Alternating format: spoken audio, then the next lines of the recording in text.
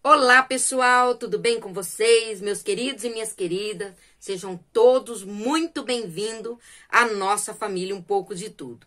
Quero agradecer primeiramente a Deus e depois a vocês pelos nossos 29, 29, 100 quase, inscritos do canal. Quero agradecer a Deus, né? E a todos vocês que estão aqui comigo. Você que está aí desde o comecinho você que acabou de se inscrever no canal, seja muito bem-vindo. Obrigada aí pelos comentários, pelas visualizações, pelos joinhas de vocês, tá bom? Deus abençoe você, sua casa, sua família, em nome de Jesus. Pessoal, eu vim aqui, ó, eu tô aqui arrumadinha assim, ó. Arrumadinha assim para mim, porque eu não fico assim em casa não, tá? Eu acabei de chegar da igreja, fui pro culto, né? E eu vim aqui gravar, falei, deixa eu aproveitar e gravar já a, um vídeo que eu tô querendo então, gente, é o seguinte. Eu a seguir, eu vou colocar um vídeo aqui no canal, tá? Fica até o final para vocês verem. Ensinando como emendar square sem deixar aquele relevo em cima. Quem mandou esse vídeo, ela, ela publicou no, no Instagram dela, que é Ingrid Pacheco, e ela mandou no nosso grupo do WhatsApp, tá? Que é o grupo, um grupo do canal que a gente tem do WhatsApp das meninas que é escrita lá e tá nesse grupo. Ela mandou no grupo e nós amamos de ver, né, o jeito que ela emenda esse square, para não deixar aqueles buraquinhos no meio nem o relevo. Eu, particularmente, eu nunca vi nenhum, ninguém fazer um, uma videoaula assim, emendando square assim. Até, inclusive, eu tenho videoaula no canal ensinando e não é assim maioria da, das crocheteiras que emenda square, quase tudo igual, né? E eu lembro antigamente, quando eu não, não tinha internet, não tinha internet não, quando não tinha YouTube, né, videoaula, a gente, eu, eu pegava, costurava agulha, né, para poder emendar os square, as flor, para fazer os tapetes. E hoje em dia nós temos a liberdade, né, de ter muitas videoaulas ensinando a gente emendar square. Só que desse modelo que a Ingrid gravou, ela gravou, gente, e eu pedi permissão para ela se eu poderia pôr no canal, ela aceitou, mandou o vídeo para mim e ainda mandou as fotos do tapete que ela fez para vocês verem a diferença, como que fica legal. Então, em seguida, agora, assiste o vídeo para você ver como ficou legal o square do jeito que a Ingrid fez. A Ingrid é uma querida por todas nós. Ela não tem é, canal, tá, gente? Ela tem só o Instagram dela, que é Ingrid Pacheco. E ela, ela tá em muitas lives, ela é bem conhecida por algumas lives, né? Que ela gosta, assim, de interagir, ela... Então, é, ela é bem conhecida.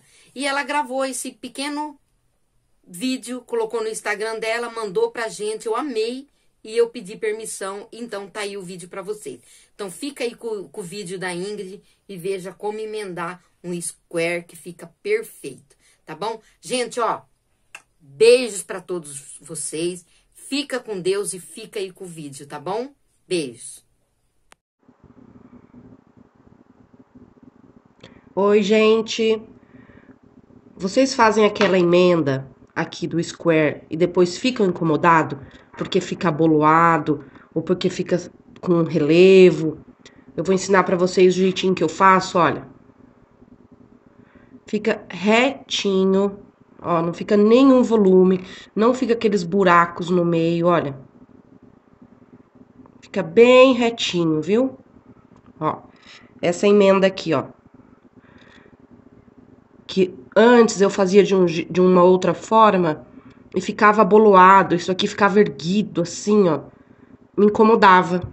Até que eu comecei a fazer dessa forma e fica totalmente plano, ninguém disse que é uma emenda, tá? Eu vou ensinar vocês aqui rapidinho. Ó, já tô com meu squarezinho aqui, já fiz um pedacinho, ó, comecei aqui, agora eu vou emendar o outro, tá?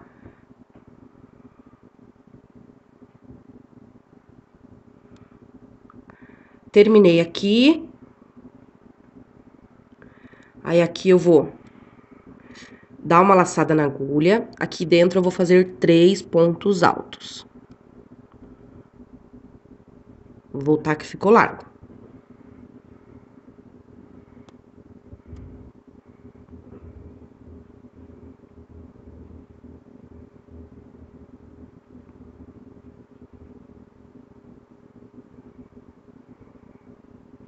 Ó, fiz três pontos altos aqui, certo? Aqui eu já faço uma correntinha.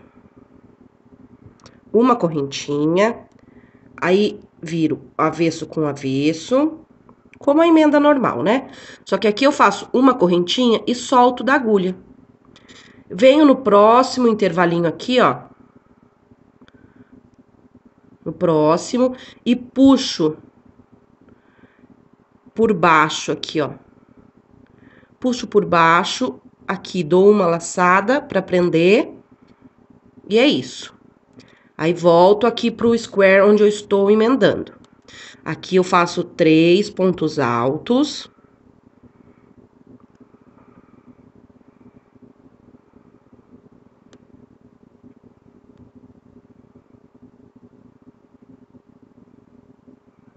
Três pontos altos e uma correntinha. Faço essa uma correntinha, solto. Vou aqui no próximo e puxo essa correntinha aqui por baixo. Aqui o laço para prender. Dou uma laçada e já volto fazer os meus outros três aqui. Os três pontos altos.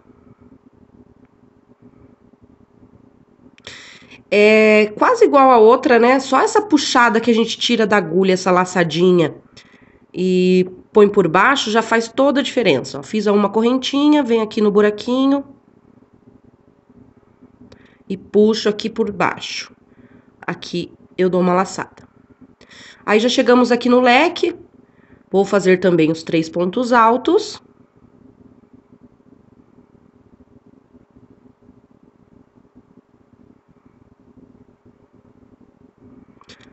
Uma correntinha. Vou aqui pro meio do leque. Puxo essa uma correntinha. E dou uma laçada. E aqui eu faço os meus outros três pontos altos. Para completar o leque.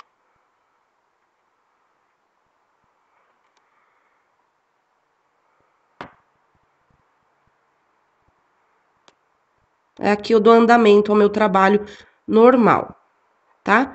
É praticamente igual a outra, mas é, é o fato de tirar a correntinha da agulha e puxar por baixo faz toda a diferença, gente. Testem aí, depois me contem.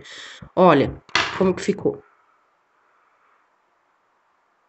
Ó, não fica aqueles buracos aqui no meio, ó, que com a emenda tradicional fica. Nem aboloado, olha. Bem retinho, ó.